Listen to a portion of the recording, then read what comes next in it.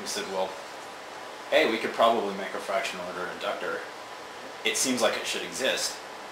Um, now, on their diagram, the resistor was a corner, and on mine it's the center.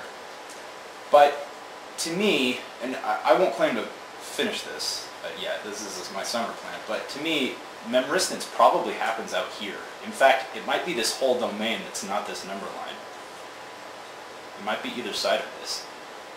Um, so we could probably establish something on this line, and then we could have another hard set of just singular values to compare things. Or we could combine them, and who knows what we'd get. And the odds are good that if this is true, we're seeing effects from both memristance and fractance at the same time. I don't know. Um, so with that in mind, uh, I'd like to present this uh, fractional inductor, and I've made a circuit diagram. With apologies to the English language, I don't like the word fracductor, but uh, that's what it is. Um, ideally, these devices have internal fractional magnetic flux linkage, which means they have a power law inductive response. Um, they are kind of the opposite, if you will, of a fractional capacitor. Um, I think the idealist uh, design would probably be some kind of jungle of carbon nanotubes, which are extremely efficient and could generate a lot of magnetic flux in a tight amount of space, etc. Um, but they would perform this basic function.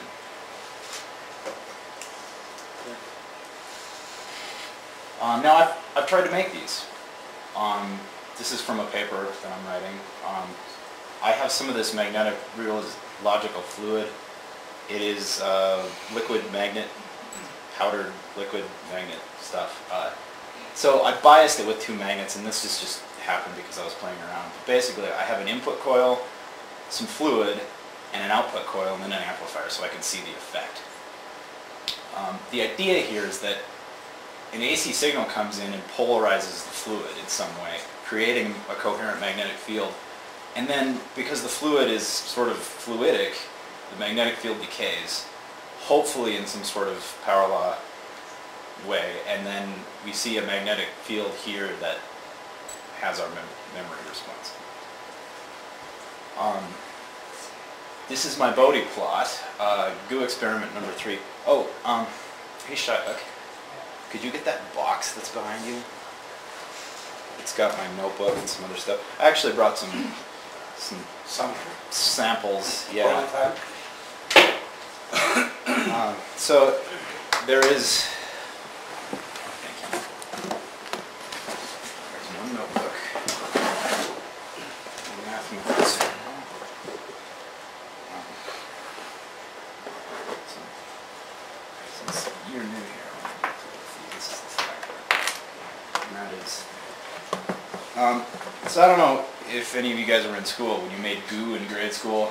Um, I actually didn't go to grade school, so I just made goo on my own. But uh, it's 50% Elmer's glue, 50% water, and then you mix in borax, which has some active element that aligns the polyvinyl alcohol chains, and makes slime. And since the slime is non-Newtonian, my idea was adding iron powder to the slime would allow us to get this sort of loose linkage of iron pointing. Um, but what I wanted to show is this, this is the response. I have a digital signal analyzer downstairs and an amplifier hooked to this. And the slope of this line is about 13 to 15 dB per decade. So it's not 20 like an ideal inductor, and it's not 10 like you might think, you know, a half order inductor. It's a little more than half. But the phase is fairly constant for this first little bit. Um, and this is what we'd be looking for. It kind of decays here. Um, so if you cut out this little chunk, I believe that I've actually made a fractional inductor. I believe I have. It's more like a transmitter, but I think the concept is good. Yeah, This is a band limited, um, if you look at this, this range, Yeah. it's about how many decades? It works for about one decade at this point. Uh, Almost one decade. But Okay, It's thirty dollars with this guy. Um, so that's all I really wanted to show you at this point. Um, so I've told you about fractors, memristors, and how I believe there's a link. And out of this study, the fracductor has come.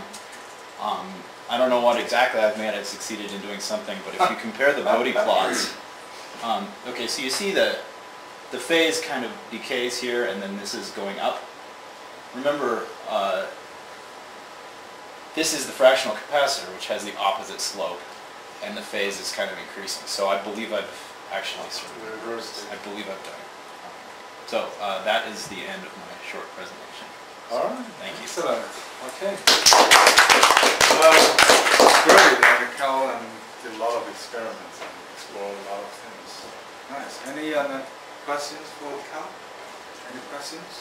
What are the uh, applications for these uh, things? Um, now that's an excellent question because the, the motivation for even doing this is because we couldn't really control the phase angle of diffractors.